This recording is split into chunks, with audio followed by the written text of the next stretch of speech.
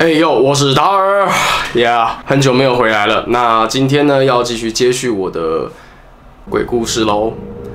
今天要带来的故事叫做《四点四十四分》。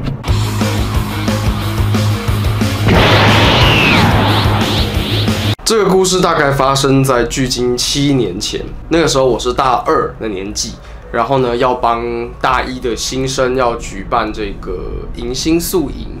那我们在阳明山，所以呢，阳明山的中间有个地方叫做福音园，它就是一个可以拿来举办烤肉啊、宿营啊，呃，一个很大的室外活动场。我就坐公车到半山腰就下来了，结果不小心下错站了，提早下了一站。那我想说也没关系嘛，反正才差一站，我就用走路的。那时候可能心情没有很好。可能在想一些可能 负能量的事情，难过的啊，生气的啊，诸如此类的一些负面能量的事情。OK，然后呢，我就很正常的到了福音园，签完了合约，谈完了时间租借场地，我就离开了。晚上回家睡觉的时候呢，我又被鬼压床了。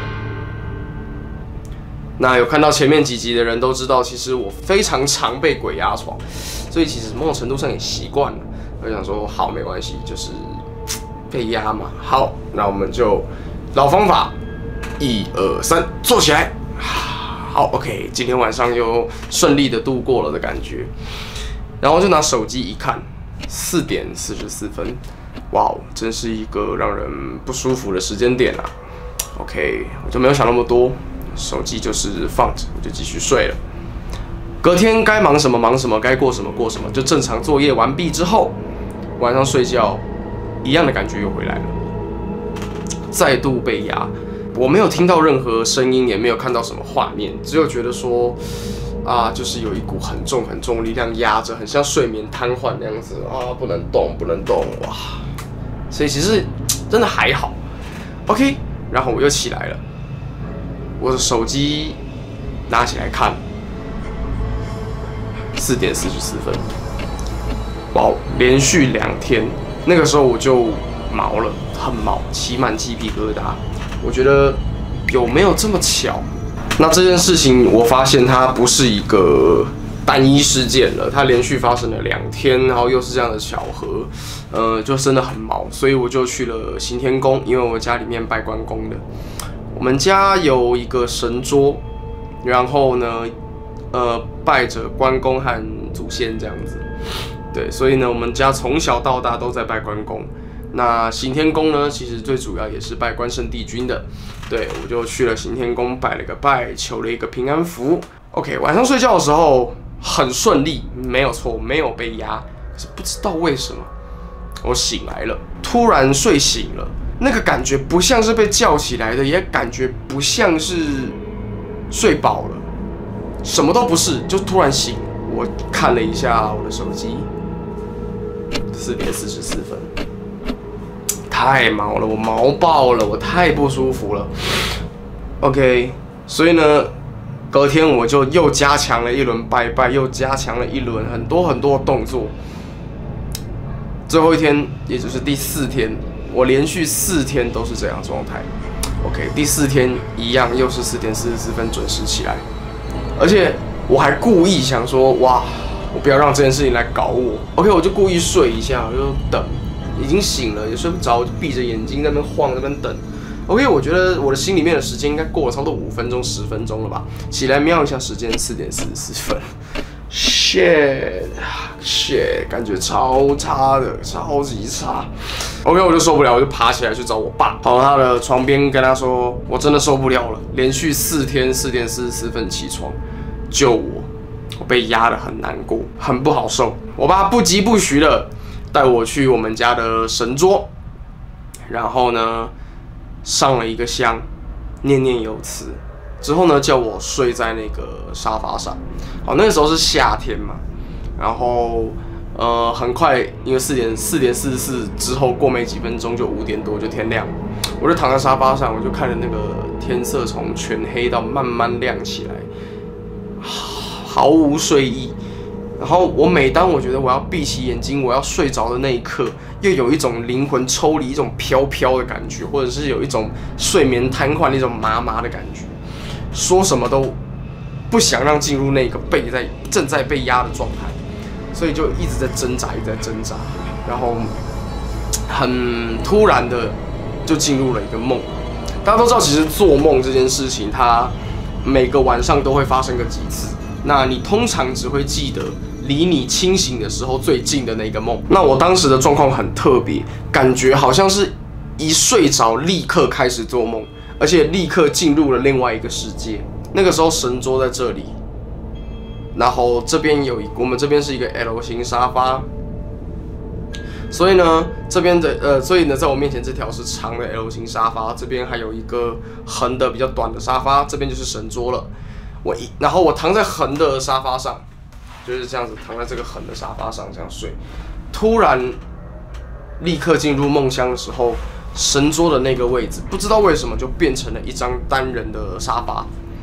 然后呢，上面坐着一个胡子很长的男人，可是他就。好像仿佛有现代化过，他戴着一顶一顶橘色的鸭舌帽，穿了一个背心，然后呢喝着一杯饮料，在划手机，而且是智慧型手机。OK，很特别。旁边呢就有一个看起来稍微年资嫩一点的，一样戴着跟他一样的一个穿着，橘色的帽子，橘色的背心。仿佛很像是一种抓虫大队，你在家里面找来找去，到处拍照拍照什么的。我坐起我的身子后，这个大胡子的男人就突然问我说：“你还好吗？”然后我就回他说：“我感觉看看。”我就闭起眼睛，然后突然就有一种被压的感觉，我就赶快挣脱这个感觉，我就说一点都不好，非常不好。然后他就递了一杯花草茶给我，跟我说。把它喝了，会稍微好一点。OK，我就边喝边看他在干嘛，他就继续在划手机。我喝了一口，把它放下来，然后我就问他说：“所以我的状况是什么？”我觉得他会知道，然后他就跟我说：“哦，你被一个女的跟着，我还有存她的照片哦，你要不要看？”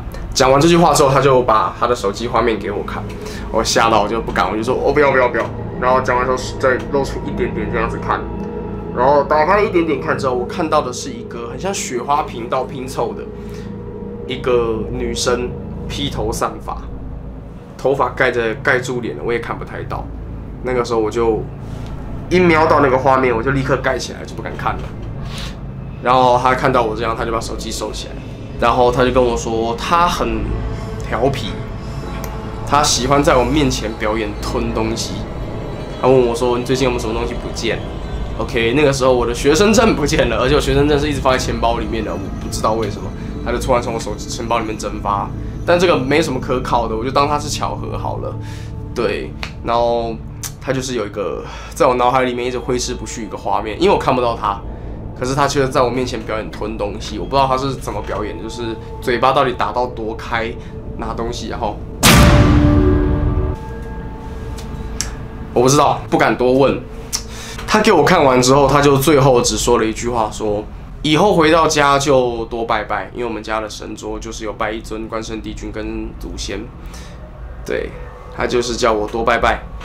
OK，讲完了之后呢，我就看到，嗯，我的右手边那边不知道为什么突然多了一个延伸的阳台。其实，在我家的正常格局里面没有这个地方。那在我梦里面就多了一个展出的阳台，然后外面有很多盆栽。那我妈就在外面呢，去浇浇花、弄弄盆栽这样子。然后看过去是非常强的白色的强光。这个大胡子的男人就跟我说：“你可以去帮帮你妈。”然后呢，我就起身走向那个阳台，打开了那个门。我的脚准备要跨出去的那个刹那，我醒了。哦，我讲到全身鸡皮疙瘩。我醒来那个刹那，我就不敢动，我连眼睛都不敢张开，然后全身在倒冷汗。过了差不多五分钟吧，我才敢把脚放下去，然后身体打直。